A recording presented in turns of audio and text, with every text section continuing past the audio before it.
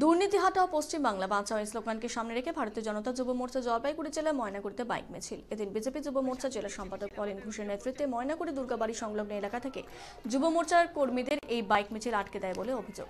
পরে অবশ্য ময়নাগুড়ি ব্লকের ভোটপট্টি এলাকায় জমায়েত হয়। সেখান থেকে উত্তর এবং দক্ষিণ মন্ডল এলাকায় ট্যাবলো নিয়ে বিশাল এক মিছিল সংগঠিত করেন যুব মোর্চার কর্মীরা।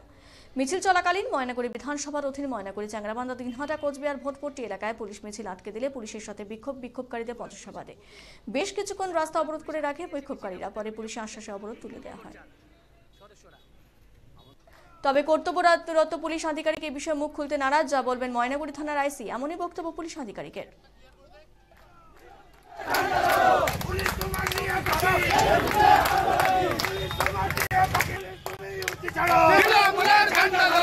আমাদের জলপাইগুড়ির যে ময়নাগুড়ি বিধানসভা আছে, সেই ময়নাগুড়ি বিধানসভাতে আজকে যুব মোর্চার জলপাইগুড়ি জেলাব্যাপী বাইক র্যালি ছিল।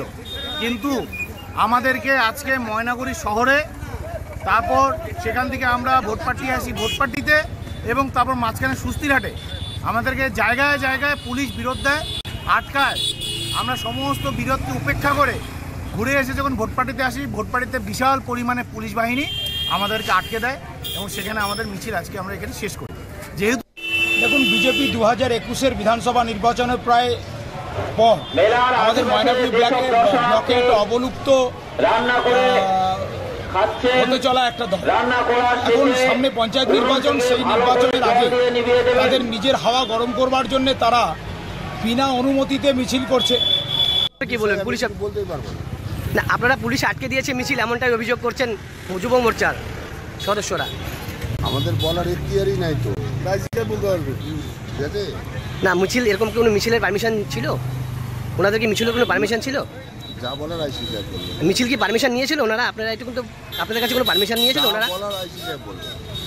না আজকে কি মিছিল আটকে দিয়েছেন? মানে এরকম একটা অভিযোগ উঠেছে যে ভোটপট্টিতে মিছিল আটকে দিয়েছেন।